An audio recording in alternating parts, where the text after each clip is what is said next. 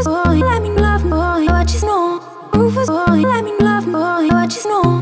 Hey guys, it's Megan back on the Aqua Pura YouTube channel and today I'm showing you four habits you should get into for the summertime. One habit you should definitely get into this summer is getting active. My favorite thing to do is yoga because it literally makes you feel so good and it's so fun to just get outside and be peaceful. I just love it.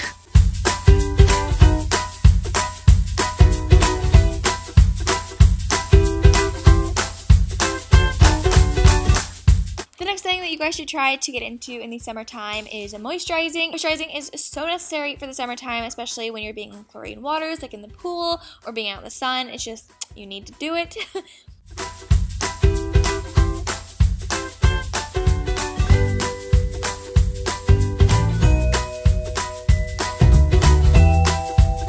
I cannot stress this one enough, you guys. You have to hydrate. In the summer, when you are out in the heat or at the beach and you're just losing all the water in your body, you need to keep replenishing it. I think you're supposed to drink like two and a half liters of water a day. I really like drinking infused water for the summer. It just makes it a lot more enjoyable.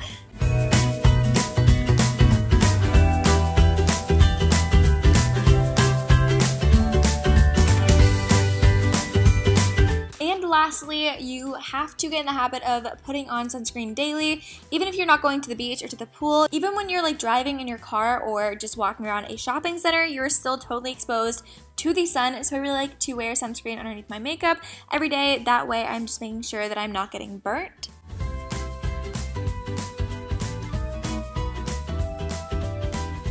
Alright guys, so that's it for today's video. I really hope that you all enjoyed it. If you did, give it a thumbs up and subscribe to Walk Up Aqua Pura channel, the one you're on right now, and my channel, beatbeautyy. It's always linked right down below. And yes, that's all I have to say. I will see you guys next week with another new video on this channel. Bye guys!